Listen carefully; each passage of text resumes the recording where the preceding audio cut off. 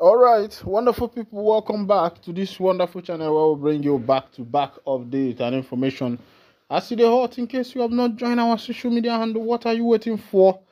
Uh, kindly go ahead and subscribe, like, comment, share, and also remember to on your notification button so that whenever our news drop, you will be the first we'll collect them. Let's go down to the news proper as it hot. It um, plenty matters there for my table, and as I go to bring them one by one to you. Uh, the first one will be say there for my table, will be say, Ohaneze ndị Igbo, Ohaneze ndị Osh. If you put and complete, now you know. Um, they don't they agree small small between the matter. Uh, we Mazi Nani Kano Hamadike one of ndị Igbo and uh, Mazi Simon Ekpa, uh, the Prime Minister of the Biafra Republic government in exile. Uh, they bring for the table since uh, the best thing for the Igbo, uh, that the last resort for them is self-determination. And um, uh, if we are in a working country or in a working nation or continent, um, you and I will agree that the issue of secession is not a do or die affair. Um, it was not. It was no more in the, you know, in the uh, in the 70, 70 17s you know 1800 1700 where you see people fighting a war uh, before freedom. Uh, but as it is now um, everything uh, technology and also the rule of law have made things easy uh, because we are now in the 21st century even though the use of weapons are still allowed but it is not in the issue of uh, one fighting his or her freedom. There are processes protocols means and ways of making these things work out in a better way. Yeah, but the happiness of every Biafran is that um, Ohaneze and the rest of the people are now aligning uh, with the vision, true vision of Ndi Igbo. Uh, remember that when the colonial master came, uh, he found he found Ndi Igbo to be very strong-headed because the Igbo man was already practicing uh, democracy before the arrival of the white man um, even though that our kind of democracy or how we, we lived our life was not recorded in papyrus papers uh, like every other continent of the old age, but from artifacts and some things we can see, uh, we are able to know that uh, this is the kind of tradition that we've been practicing because those days in Ali Igbo, um, the Igwe cannot say and have it all because among the Igwe, you see the cabinet members, even it is more or so like a house of senate. Eh, the Igbo people have been practicing all these things. You have the cabinet members, you have the Omuna, you have the age grade, you have the Omwada. All these people are people that are there to make sure that the the the the the, the Ali Igbo is working out well. When the white man came, he saw some of these things, and um, he decided that uh, the best way to rule us is to divide and rule because one Igbo is a man who has sense. An Igbo man is not a man you can just call and he will just answer you. He would want to know the reason of the call, why you are calling him, and what is your intention uh, before he will venture into answering that call. But meanwhile, uh, I'll still come back to that particular matter. Let's go down to the information of the day. Ndigbo has right to self-determination as last resort, and a Biafra group. Now then they talk this one. A separatist group Igbo Biafra nationalists, IBM has said the Igbo region has the right to self-determination as a last resort to address the issue of marginalization.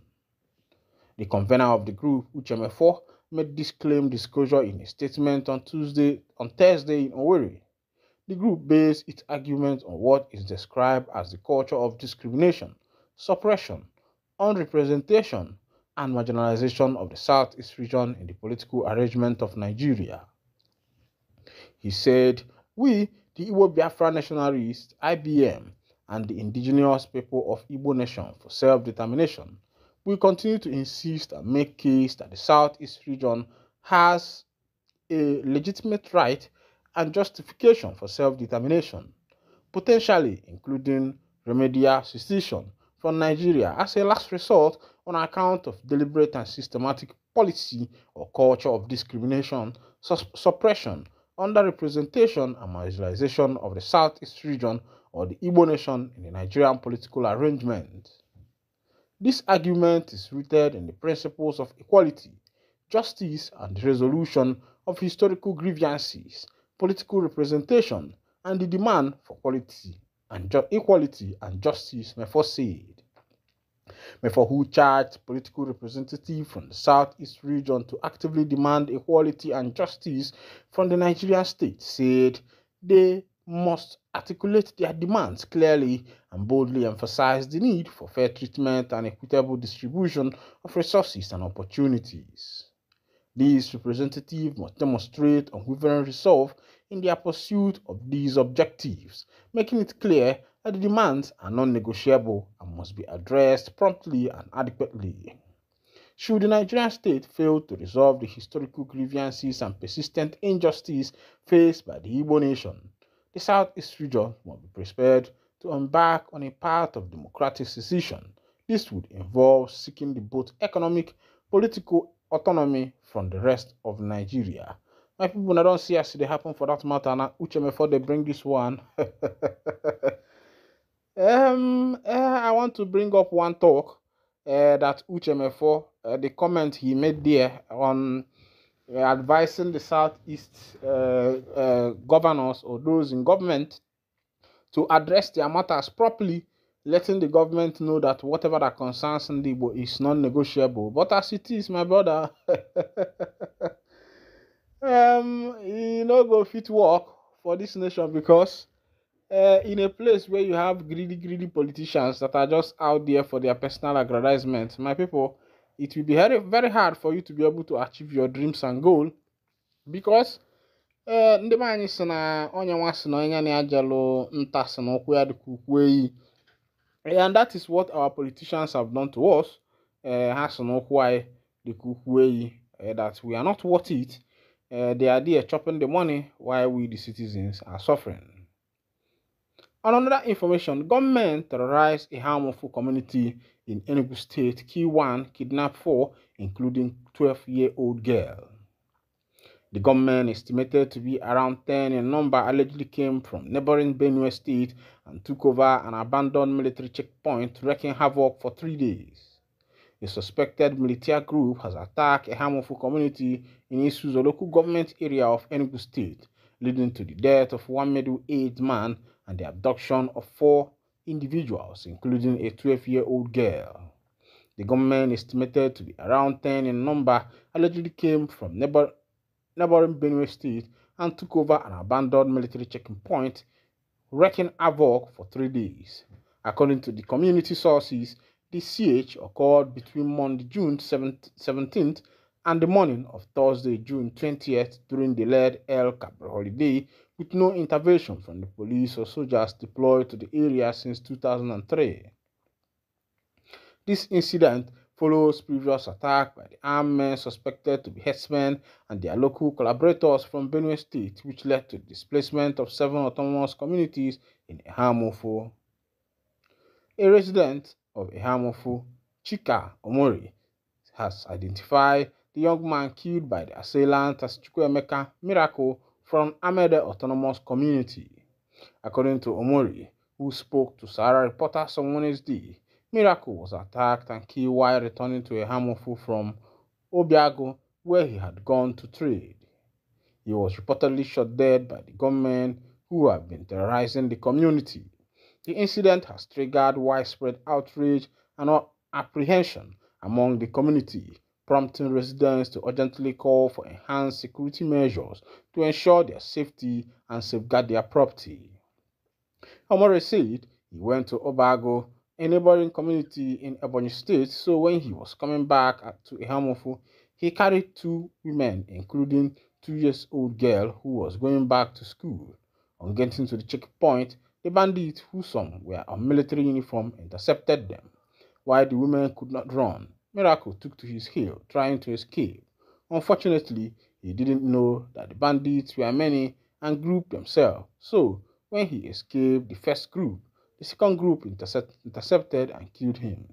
The little girl identified as Chidiogo Ekpe and old woman were abducted to Benue State.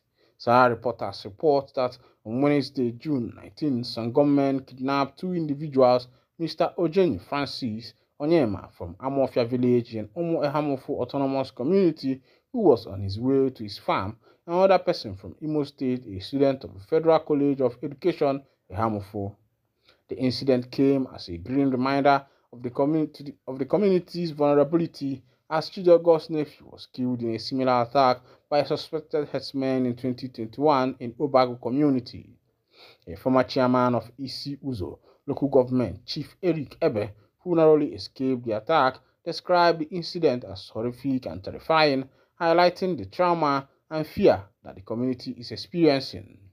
Ebe, who spoke to Sahara reporters on Wednesday on the telephone, said the bandits riddled his car with bullets. He described the attack as a kidnapped attempt, adding that the bullet burst all his tires. The gunmen were about 10, heavily armed with AK-47 rifles. My own attack happened last Monday. It appears I was the first person they attacked. I went to the village with my relation, a lawyer who came from Abuja, immediately immediately after I entered Ehamofu from Ebonyi boundary. I passed a military checking point, but nobody was at that at that checking point. After two poles or three thereabout, I saw about five boys in my front. Instantly, I sensed danger and immediately I started reversing, but because of all the heavy logs of wood the soldiers left on the road, they were able to shoot at my car. In the confusion, I veered off the road. All my tires had burst, and because of the bullet they rained on my car, they felt they had gotten me. In the middle of the confusion, I managed through God's grace and drove the car out with deflated tires and escaped, he narrated. Meanwhile, Sahara reporters gathered that bandits used the new power line of the Transmission Company of Nigeria to invade the town. Although those kidnapped have been released after the reported payment of a huge ransom in Benue State, residents of Ehamofu communities now live in fear. A security source told Sahara reporters that over 237 expended bullet shells were recovered from the scene of the attack, showing that the bandits came prepared for war. My people, I don't see as they happen. This one they happen for Benue State, and um, mm, mm, mm, mm. Nigeria, we healthy.